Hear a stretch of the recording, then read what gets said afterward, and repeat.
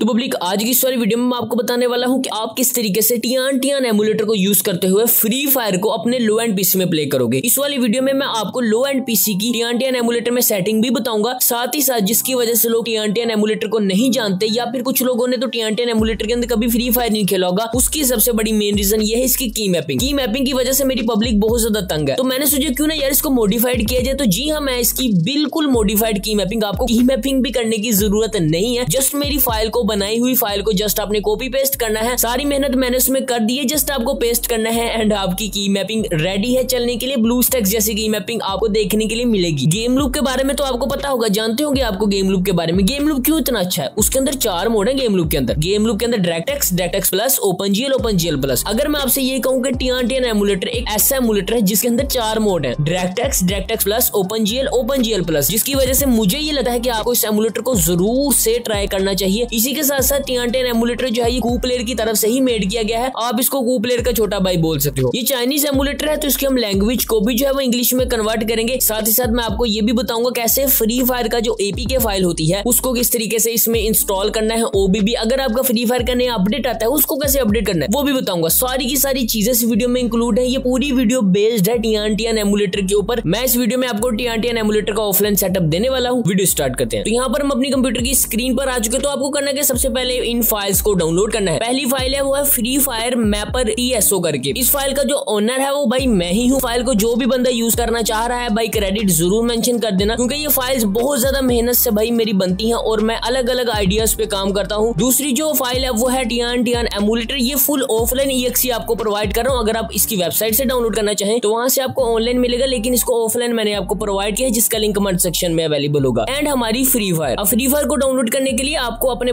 Browser में जाना पड़ेगा, क्योंकि हो सकता है आप इस वीडियो को लेट देख रहे हो एंड फ्री फायर का कोई अपडेट जो है वो यहाँ पर आ जाए। तो सिंपल आपने यहाँ पे लिखना है फ्री फायर ओबीबी डाउनलोड ये वेबसाइट आपको देखने के लिए मिल जाएगी फ्री फायर ओबीबी वाली। आपने इसी वेबसाइट पर जाना है, इसमें आपको फ्री फायर के लेटेस्ट एपीके एंड ओबीबी मिल जाते हैं, यहाँ से आप देख सकते हैं। वन क्लिक डाउनलोड है, इन दोनों को आपने डाउनलोड कर लेना अच्छा जी तो डाउनलोड करने के बाद मैंने इन दोनों को देख सकते हैं फोल्डर के अंदर रख लिया है। सबसे पहले हम अपने एमुलेटर को इंस्टॉल करेंगे। तो टी टीएनटीएन एमुलेटर जो की फुली चाइनीज़ बेस्ड एमुलेटर है तो इसलिए आपको सारी चाइनीज़ लैंग्वेज देखने के लिए मिलती है। सबसे पहले आपसे पूछेगा कि आपने कहाँ पर इंस्टॉल करना है। तो मैं बाय डिफ़ॉल्ट लोकल डी पर ही इंस्टॉल करूँगा एंड ये इंस्टॉल का बटन है। आपने इसके ऊपर क्लिक कर देना है।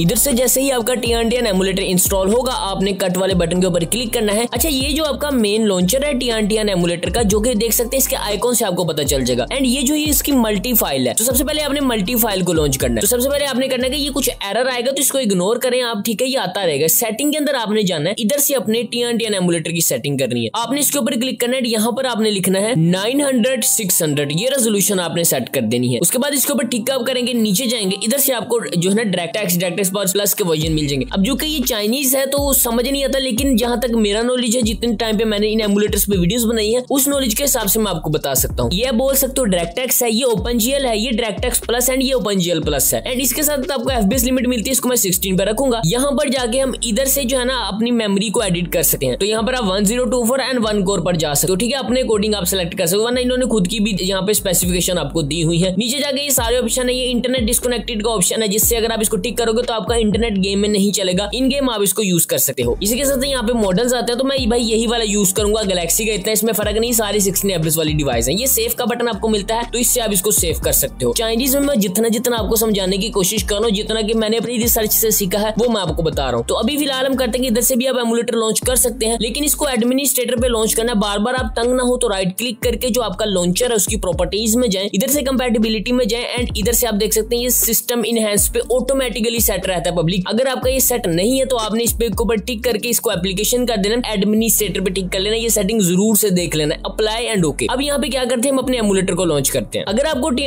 एमुलेटर में कुछ इस तरीके का इशू आता है, जो कि मेरा ग्राफिक कार्ड सिस्टम में नहीं है, जिसकी वजह से ये इशू दे रहा है, पहले भी ये दिक्कत कर रहा था, जिसकी वजह से मैं इसको कट कर देता हूँ इस टाइम पे। तो हमारा एमुलेटर चल चुका है भाई, इससे वॉइस को आप कम ज़्यादा कर सकते हो, इससे आप अपने एमुलेटर को वाइब्रेट करवा सकते पास अगर कोई बैकअप फ़ाइल पड़ी है, वो लगा सकते हो। अगर आपके पास कोई एपी के पड़ा हुआ है, आप वो यूज़ कर सकते हो। अगर आप इसको मोबाइल की शक्ल में रोटेट करना चाहो लाइक इस तरीके से इसी के साथ साथ अगर आप स्क्रीन वगैरह लेना चाहो अब यहाँ पर भी स्क्रीन ले सकते हो। फ़िलहाल यहाँ पे कुछ छोटे मोटे फीचर्स के बारे में बात होगी। अभी हम करेंगे क्या इसकी सेटिंग करेंगे। तो सेटिंग के ऊपर क्लिक करके यहाँ पर आपने सेटिंग के अंदर जाना है एंड इधर से आपको जो है ना ये इसके ऊपर गूगल के ऊपर क्लिक करना है। एंड यहाँ से अपनी इंग्लिश लैंग्वेज सेलेक्ट करनी है। यहाँ पर यूनाइटेड स्टेट करेंगे। तो आपका इन गेम एमुलेटर का जो, लैंग्वेज होगी ना वो इंग्लिश के अंदर सेट हो जाएगी। अच्छा जी तो फ्री फायर को इंस्टॉल करने के लिए जहाँ भी फ्री फायर की फ़ाइल पड़ी उस फोल्डर को कट कर ले। कट कर लेने के बाद अपने टीआरटीएन एमुलेटर में जाएँ एंड नीचे आपको जो इस तरीके का ऑप्शन दिख रहा है, इसके ऊपर क्लिक करें एंड इसको ऊपर टिक कर दे। एंड यहाँ पर इस फ़ाइल को लाके पेस्ट कर दे। तो जैसे आप यहाँ पे फ्री फायर पेस्ट करेंगे, यहाँ पर आप देख सकते हैं मेरी फाइल्स है। इसको कट करें ये देख सकते हैं फ्री फायर का फोल्डर आ चुका है। फ्री फायर का फोल्डर आने के बाद जो आपने एपीके डाउनलोड किया था, उसको इंस्टॉल करें। तो जैसे हमारी फ्री फायर इंस्टॉल होगी, आपने ओपन वाले बटन के ऊपर क्लिक कर देना है। तो इस तरीके से हमें कुछ इसके अंदर दिक्कत देखने के लिए मिलेगा। तो फ़िलहाल अभी हम करते हैं, इसको यहाँ से बंद कर देते हैं फ्री फायर को। फ्री फायर को बंद करने के बाद अब हमने जो ओबीबी फ़ाइल डाउनलोड की थी, उसको इसके ऊपर कॉपी के ऊपर क्लिक कर देना एंड यहाँ पर आपने स्टोरेज के अंदर जाना Android OBB and Free Fire इधर लाकर पेस्ट कर दे।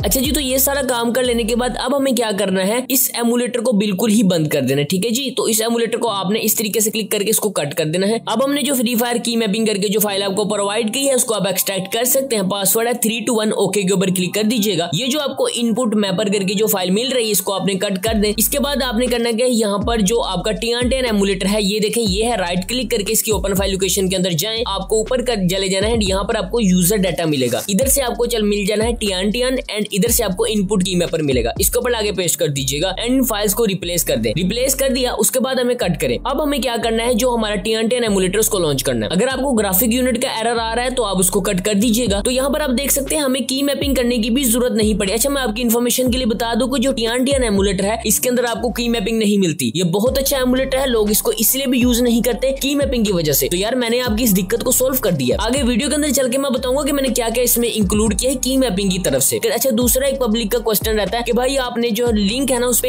एड्स बोल लगाते हो। भाई देखो, बहुत ज़्यादा इजी है डाउनलोड करना। आप तकरीबन भाई दस बारह सेकंडों में डाउनलोड कर सकते एड लगाने की जो मेन रीजन है, वो ये कि देखिए, हम जहाँ पर मेरे जो लिंक्स होते हैं, वो बिल्कुल सिक्योर होते हैं। आपने अक्सर देखा होगा, मेरे लिंक कभी फेल नहीं होते। काफ़ी टाइम के बाद भी आप मेरे लिंक को एक्सेस करोगे तो वो कभी फेल नहीं होते। क्योंकि भाई हमने मीडिया फायर का प्रीमियर लिया हुआ है। उसके ऊपर जो खर्चा आता है ना भाई, वही एड से निकलता है पब्लिक थोड़ा बहुत आप एडजस्ट कर लीजिएगा, इतनी भी मुश्किल नहीं होती। आप एक दफ़ा मेरी वीडियो देख रहे हाउ टू डाउनलोड वाली। लाइफ टाइम मेरे चैनल पे एक ही मेथड है। तो यहाँ पर हम लॉगिंग स्क्रीन पर आ चुके हैं। आप किसी भी अकाउंट से लॉगिन कर सकते हो फेसबुक से लॉगिन कर सकते हो जीमेल से किसी से भी चाहे लॉगिन कर सकते हैं। एक चीज़ मैं आपको बता दू, देखिए लॉगिन का सारा सपोर्ट मिलता है। आपने डायरेक्ट लॉगिन नहीं करना है, यहाँ पे फेसबुक के ऊपर क्लिक करना है। एंड इधर से आपको फेसबुक का मिल जाएगा। इधर से जाके आपने ना लॉगिन करने के बाद आपने अगेन अपनी गेम में वापस जाना है। एंड वहाँ से जो है ना इसको लॉगिन कर लेना इसके अंदर जो जीमेल का लॉगिन का इशू है पब्लिक वो मैं ये नहीं कहता कि लॉगिन नहीं हो सकता हो सकता है। अगर आप इस वीडियो के नीचे मुझे कमेंट करेंगे कि भाई इसके जीमेल का फिक्स लो कि कैसे टी एमुलेटर में हम अपना जीमेल लॉगिन करें तो वो फिक्स भी मैं आपको बता दूँगा। अच्छा जी तो एक और इशू मेरी पब्लिक को आ सकता है, वो ये कि हमारा जो टी एन एमुलेटर है, वो स्टक हो जाएगा। पिंक स्क्रीन आ सकता है ब्लू स्क्रीन आ सकती है। उसके लिए आपने क्या करना है, अपने एमुलेटर की सेटिंग में जाना है। यहाँ पर ये जो तीन और चार ऑप्शन दिख रहे हैं, मैंने अपने सिस्टम पे ना पहले ही ये सेटल करके पब्लिक रख लिया था, ये वाला। तो मेरे में ये चल रहा है। आप में हो सकता है नंबर वन वाला चले नंबर थ्री वाला है नंबर फोर वाला। चार ऑप्शन है इनमें से, जैसे गेम लूप में चार ऑप्शन नहीं होते, इसमें भी चार ऑप्शन है। इन सबको ट्राई करके देखना अच्छा जी तो यहाँ पर हमने जो फिक्स किया है, पहला फिक्स ये किया है कि इसमें एमुलेटर में जो इशू आता था, वो ये था कि जैसे हम ये देखे मूवमेंट वाला बटन करते थे तो हमारा जो, ये देखे ये देखे, मैं कितना मूव कर रहा हूँ। मेरा जो ये वाला बटन है ना, ये जिसको बोलते जॉयस्टिक ये बाहर नहीं आ रहा है। लाइक कुछ इस तरीके से आ जाता है ना